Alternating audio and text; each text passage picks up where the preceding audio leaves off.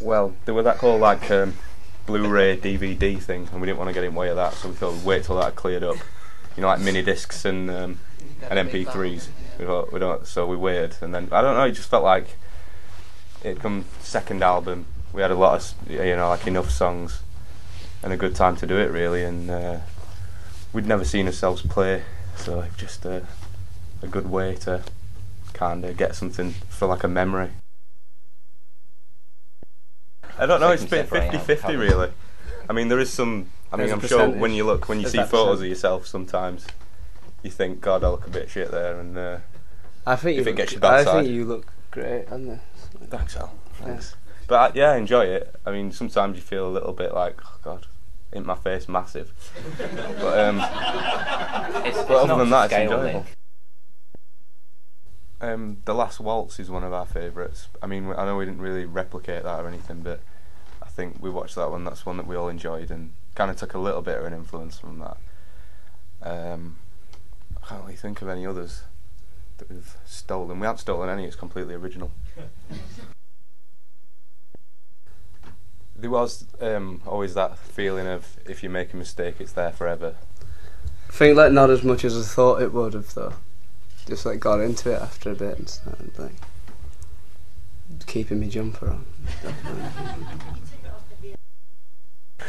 yeah, we just uh, started it really, and um, yeah, uh, not even halfway through it, but we have we have started that. It's true, and it's going very well, and we're all very happy with it, even though it's not nowhere near. See your hands. I suppose we just have to put up with it. I think yeah, it's easier to have to be filmed like playing live as opposed to like doing a on the road documentary or something. It's like you know, yeah.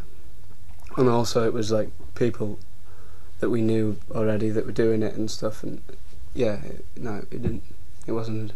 Um, we weren't reluctant. Like I think perhaps in the past we had been like with doing something like this, but it seemed like the time was right. Yeah, I'd like to like be able to move more and like probably do do more like I don't know like like more kind of like American kind of facials, like that kind of stuff. Yeah, Sort and, of, uh, sort of Jovi stuff. more like foot on monitor, like foot up on the monitor on stage, back bends. Mm. But um, yeah, I can use this as like a reference and teach myself from there. But definitely, yeah, definitely learned a lot. Whenever I speak on things like, like on this, that's the part that's really difficult for me to watch because it's just like I wish each of them had just been a sentence shorter, or like it just or just not happen at all. But um, I can't really remember any cracking anecdotes that I've. Um, it's just off the cuff, really.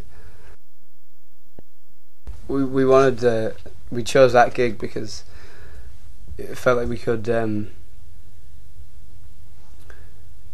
it was just about like making the film really first, and then the gig. Whereas the the gig, the big gigs in the summer at the cricket ground were, you know, it just sort of weren't weren't as suitable in in terms of like where you could get cameras and stuff like that. So I think it was important to like create an arena where you could just film it well. It's a very touchy subject. Betrayal. It, it, we just had a terrible argument one afternoon, and it was out of spite. So it's not going anywhere now. Is it just- Well, we'll see how it goes. You know, it depends if So right. if they behave themselves, then there won't be a second record. If if they step out of line, then yeah. But I suppose to us, it don't really feel like we went apart because we've still been like you know doing stuff this year, like yeah, a little bit. But but of course, it always feels great to be together.